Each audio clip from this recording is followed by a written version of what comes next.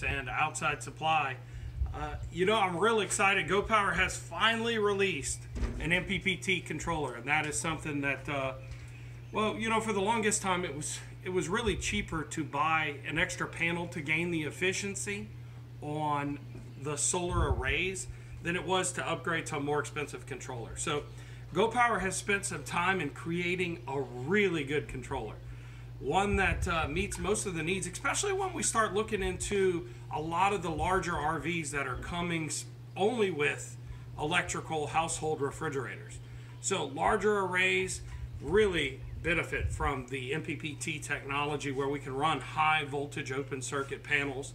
I, I'm going to do a more detailed thing, uh, review on this with uh, a lot more specs, but just know that this controller here, this new 40 amp controller, can handle panels at a much higher input voltage, which allows for larger string voltages, which can cover uh, additional power during different times of the day. So it's really good. Go Power has created the controller, which is one part, and then they've also come out with this second part, which is awesome.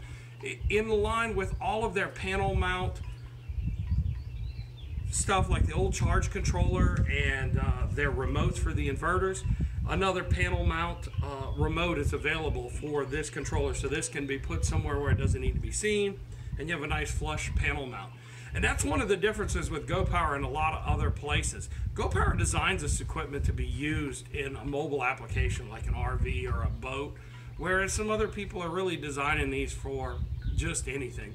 This is their specific business. They, they deal with mobile power applications. So it took them a while to come out with this controller, but they've spent a lot of time to get it right.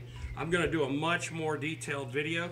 But again, if you have more questions about this, you can call us at 866-574-4983. Just hit extension 1. Uh, you'll either get me or one of my team. The uh, controller is now available on OutsideSupply.com.